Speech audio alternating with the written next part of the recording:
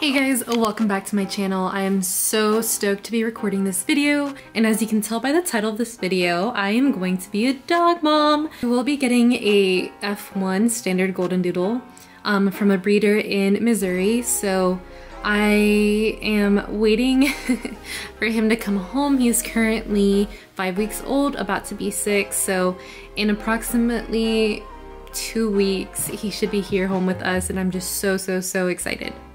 Um, but I just want to go ahead and show you guys everything that we got for him um, just in case you're getting a puppy or you just got a puppy and you're looking for ideas of what you should get. Um, I hope I help you out and I have linked everything down below that I could find with prices as well in case you really like something for your puppy. So let's get to it.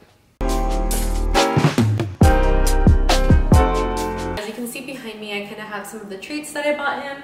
I also have this basket here where I'm going to be keeping his toys um, and then also his crate. So we ended up getting a size large, I believe, off of Chewy, um, just because we know that he's gonna grow up to be a really big boy, and we didn't want to be spending money on upgrading his crate. So we ended up getting a crate with a divider in the middle, just so that we can allocate the appropriate space for him. Um, we do know that if you give them a space that's too big, they often tend to use the other half to go to the restroom. So to avoid that, the divider in the middle will hopefully keep him on one side and then also avoid any accidents in there. But if they do happen, they happen. I mean, he is a puppy. Um, but yeah, so that's the crate. We will be using a slow feeder bowl. This one is from the brand Harmony. We want to raw feed him, so we plan on freezing his food on here and really just challenging him to earn his food.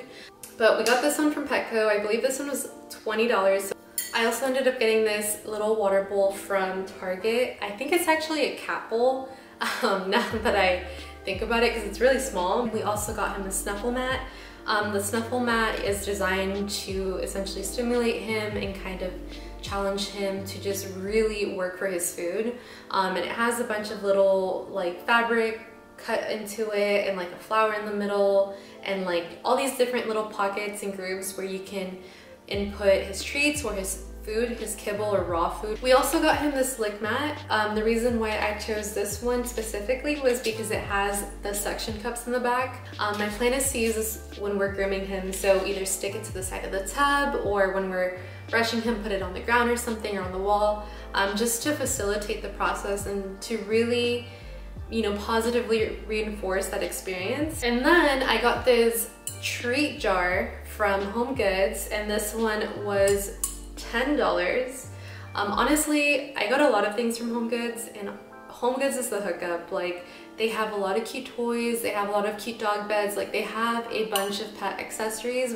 Okay, so now moving on to his treats. We got him these beef liver freeze-dried treats. Um, these were kind of expensive, I'm not gonna lie. I think this tub of treats was about $25, um, but it's a single ingredient treat, which means that there's no preservatives, um, no cornmeal, no starches or anything like that. Things that dogs aren't really supposed to be eating. So this is a really like high value treat. I already gave some of these to my parents' dogs and they went bananas for them. So I'm hoping he loves them. We also got him these lamb bites, which are lamb lung, and these are dehydrated treats, single ingredient as well. I got these at PetSmart. Um, you can probably find this at your local uh, pet store, um, but I will keep you guys updated and see and tell you if he loves these. We also got the Zuke's mini training treats. Um, this is the chicken recipe. I saw a lot of YouTubers using these to train their dogs and it seemed like their dogs went crazy for them. And then we got bully sticks. These are from the brand Dentley's Dog Chews. These are odor-free bully sticks and we went ahead and got the odor-free ones just because when he is on the plane, I don't want people around him complaining that they smell. or that our dog smells weird. Um, it's usually the bully stick, but we're gonna try these out. Hopefully he loves them. If you guys have any brand recommendations for bully sticks, please let me know down in the comments. I was trying to do my research um, on them, but I haven't really found one that I'm like, ooh, like I wanna spend my money on that. Um, so let me know which ones your dogs love. Okay, moving on to kind of like walks slash poop bags. We ended up getting him a rope leash. This one is from the Mile High Life brand We got this one off of Amazon. Um, so it's pretty decent quality. It feels really sturdy. Um, it's kind of in this like natural coffee espresso brown.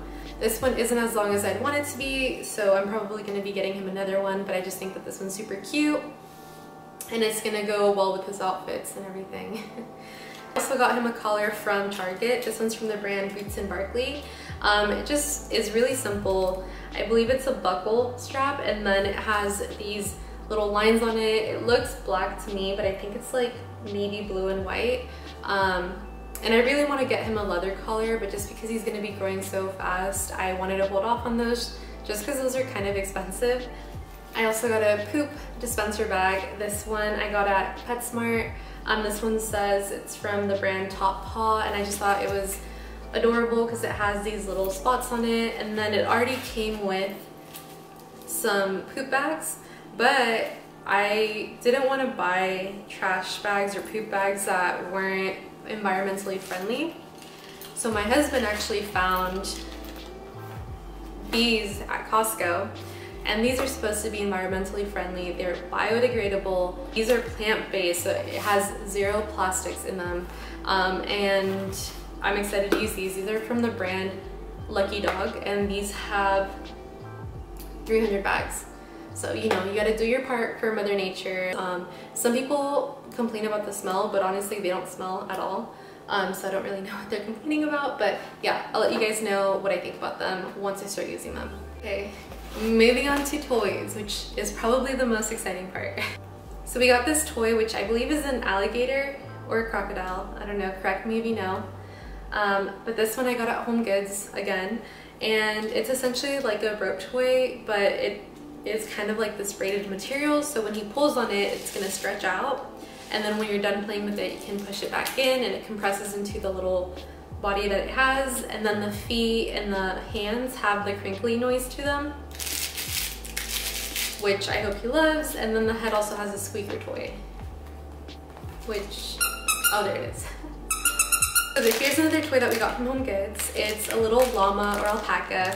Um, and it's really fuzzy and super cute and it has the crinkly paper inside so it's meant to make a lot of noise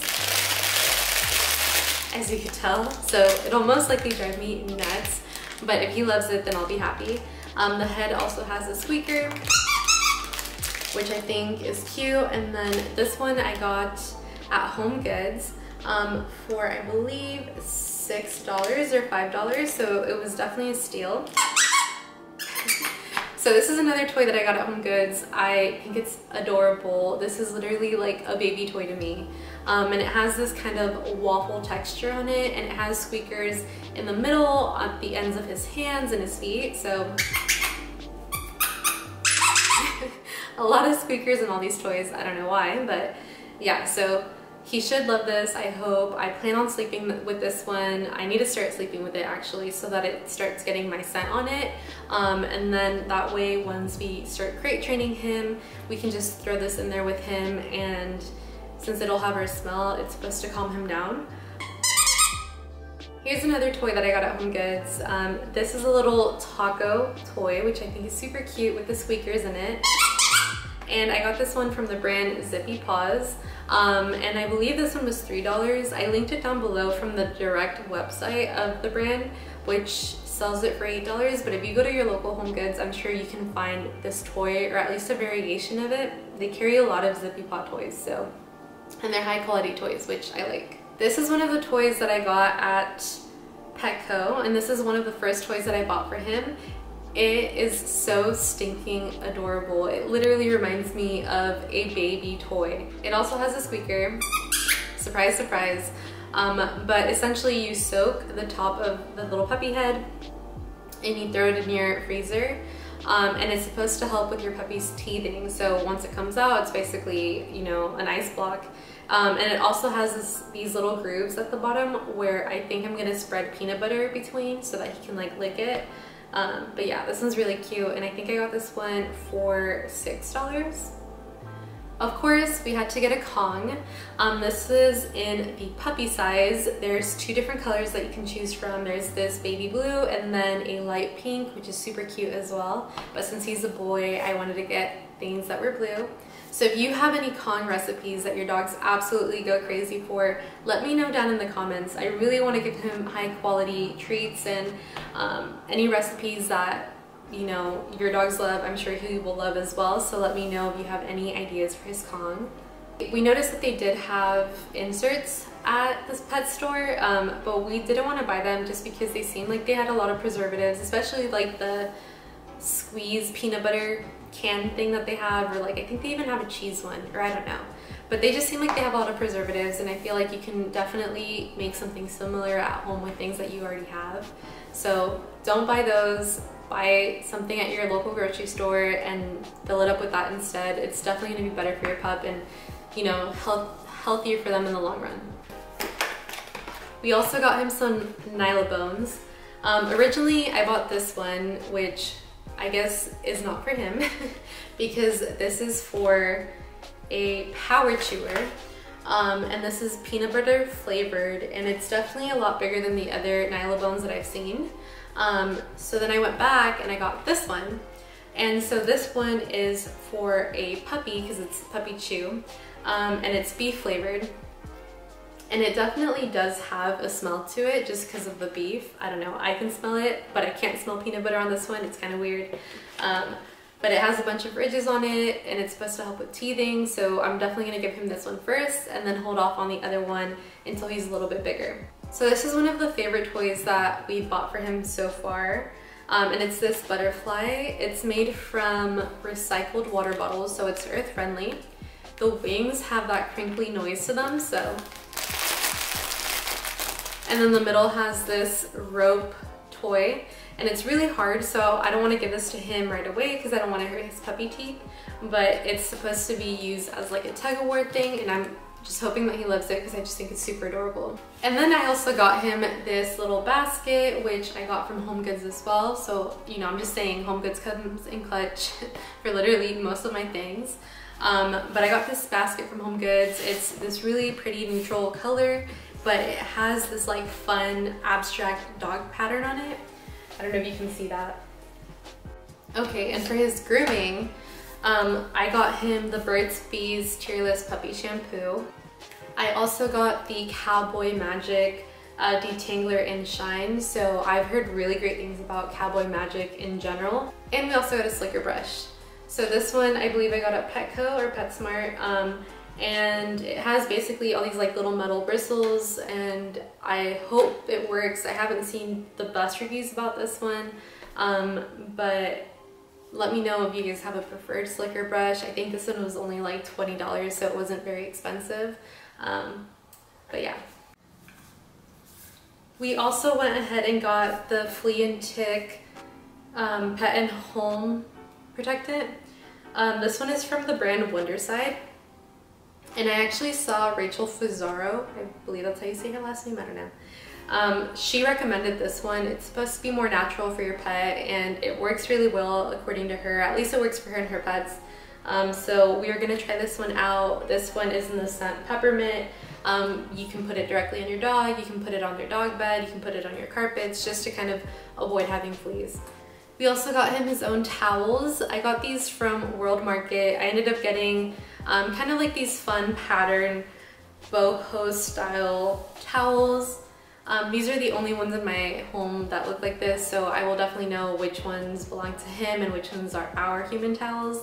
So I also got this stain remover. It's supposed to have an enzymatic formula, so if he has an accident inside the house, which is bound to happen because he will be a puppy, um, I can use this and it'll remove the smell completely, even for him, so he won't make the same mistake twice in the same spot at least.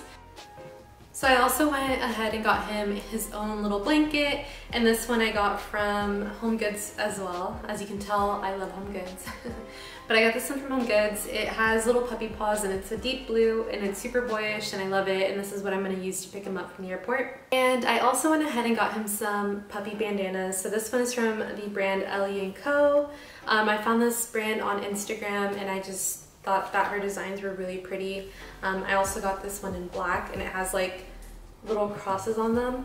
Alright guys, that's it for this video. I really hope you enjoyed it and it gave you some great ideas for your new puppy. And follow along on my puppy's Instagram at mydoodsanti. I will definitely be sharing his growth on there and kind of just keeping you guys more updated on there than on here. So if you're interested in seeing my golden doodle grow up, go ahead and give us a follow.